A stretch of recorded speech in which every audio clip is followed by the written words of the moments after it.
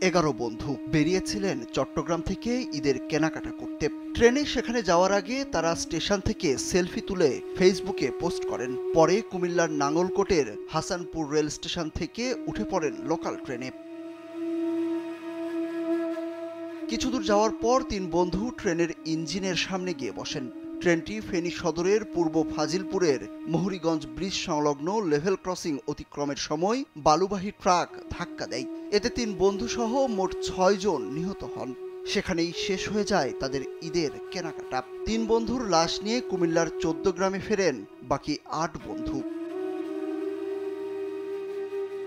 এবার ব্যাংকও আপনার হাতের মুঠোয় balance transfer mobile recharge bill pay থেকে শুরু করে যা চান, সব হবে এক মুহূর্তে। এনআরবিসি প্ল্যানেট শুক্রবার সকাল সাড়ে আটটার দিকে এই দুর্ঘটনা ঘটে। নিহত ওই তিন বন্ধু হলেন কুমিল্লার চোদ্দগ্রাম উপজেলার শাকতলা গ্রামের দিন মোহাম্মদ মোহাম্মদ রিফাত ও সাজ্জাদ হোসেন। বাকি নিহত তিনজন হলেন ট্রাক চালক মিজানুর রহমান, তার সহকারী আবুল খায়ের ও ট্রাকের যাত্রী আশিক। শুক্রবার বিকেল সাড়ে তিনটার দিকে নিহত তিন বন্ধুকে একই কবরস্থানে পাশাপাশি দাফন করা হয়।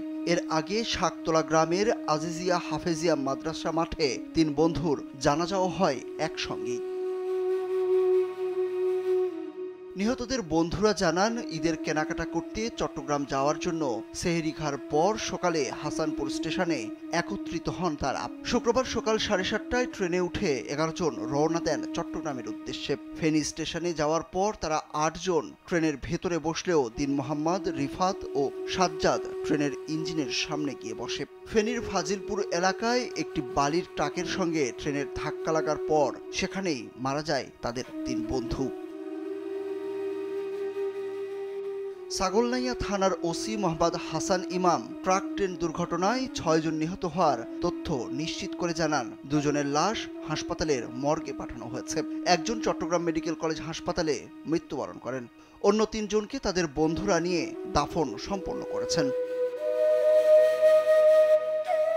এদিকে ঘটনার পর থেকেই ওই রেল ক্রসিং এর গেটম্যান মোহাম্মদ সাইফুল পলাতক রয়েছেন। পুলিশ জানায় ঘটনার সময় গেটম্যান সেখানে ছিলেন না। স্থানীয়রা অভিযোগ করেন গেটম্যানের উদাসীনতার জন্যই এই দুর্ঘটনা ঘটেছে।